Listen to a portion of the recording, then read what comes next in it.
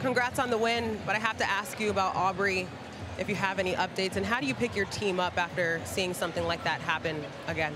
I don't know. I don't know. I mean, it was, there was no contact on it. She just turned to go someplace, and um, I don't know. I'm, I'm going to find out, obviously, when we get in there. Uh, but, you know, I, I mean, what are you going to say? You know, it's just, at this point, I don't have any words for that. I don't. Coming into this week, you talked about how important it was to get these wins against Marquette and Creighton. What position, or how do you feel about the position that your team is in after getting two big wins against these schools? Well, we were talking about it. You know, um, obviously, you know, this is a it's a tough way to start the conference, right? You're playing, you know, two ranked teams.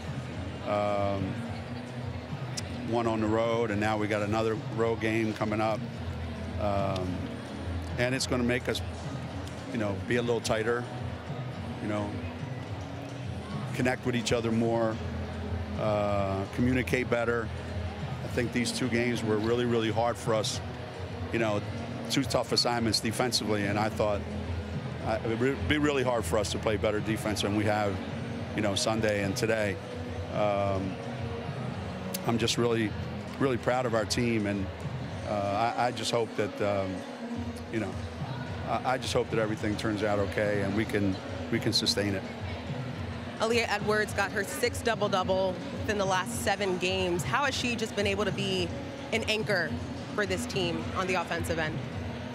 Well, you know, you look back at all our best teams ever, you have to have a scoring threat inside. That person has to be able to score, and they've got to rebound and, you know, you look at what Aaliyah's doing right now.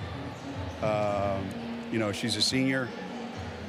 Our game, our team is going to go as well as Aaliyah goes, and then Paige on the outside. So if we can have those two playing at the level that they're playing right now, especially these last two games, then um, then I think we have you know we have a chance to do something.